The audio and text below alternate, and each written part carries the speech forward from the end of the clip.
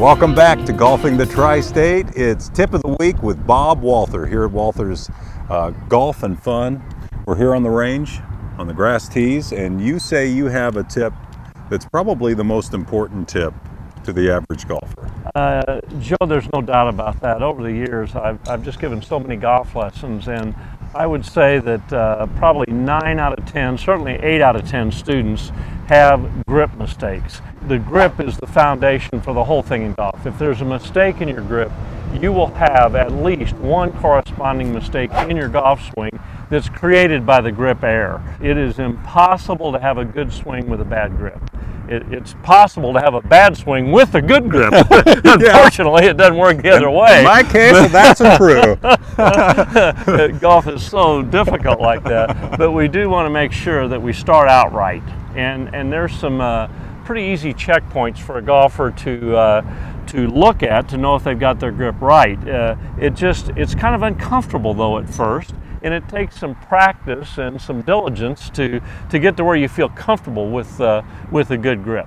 Right. Okay. What's the first thing we do? Okay. Well, let me see if I can scoot in here and not okay. not get in the camera shot here. Okay. If you can kind of shoot over my shoulder. Let's put your left hand on first. Okay. Uh, the, the issues in your left hand grip is your thumb should be on, now we're talking for a right hand golfer now, mm-hmm. your thumb should be on top, but a little off center to the right side of the shaft. Mm-hmm. And, and, you've done it very well, but we've worked on this before. Yes, we have. Yeah, far in between your thumb and index finger is an inverted V, and that V must point a little right of your chin.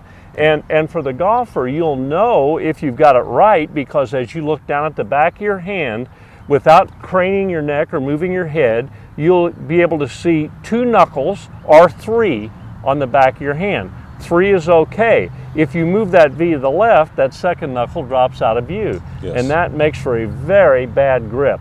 We want to be able to sure see two or three knuckles on the back of your left hand, and that will ensure that this V has dialed to the right of your chin, pointing at your right shoulder. Close your hand up there we want this creates another V here between the thumb and index finger of your right hand and it just like the left hand wants to point toward your right shoulder. Now in your in your right hand grip when you do it correctly when you look down at your hand you'll see these two fingernails if the if the V goes to the left, you can't see your fingernails. Right. If it goes too far to the right, not only do you see your fingernails, but you see the second joint of your fingers kind of rolling up on top of the grip, mm-hmm. and that's no good. That means this V is dialed too far right. Now hold it there. Okay, that's good. Now I'm going to move across the camera frame here.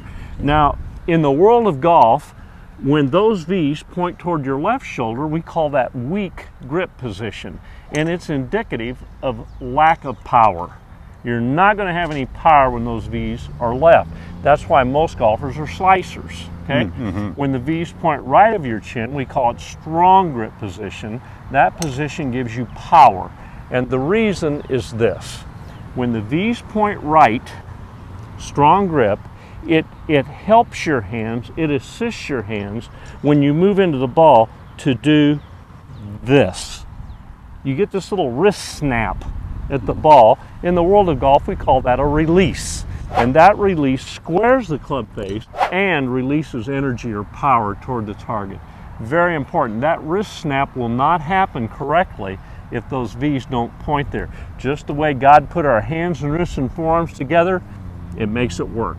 When the V's point left, instead of your hands rolling over like this with the release, they tend to stay open the club face stays slice. open and you hit a slice. Whether you're a right-hander or left-hander, you know the ball the, the right-hander is going to fade the ball to the right, left-handers to the left. Neat. Shall I hit a couple? Oh, I think just to see how it works. Yeah. Okay. Also, one other thing about that, your grip pressure is important. Uh, grip pressure should be kind of like if you're going to throw a baseball. You wouldn't squeeze it real hard; you couldn't get it out of your hand. You want to be able to kind of release it. And and I've known over the years you have a you your grip pressure is good. Okay. Well, good. Here yeah. we go. That's excellent grip there. Thank you.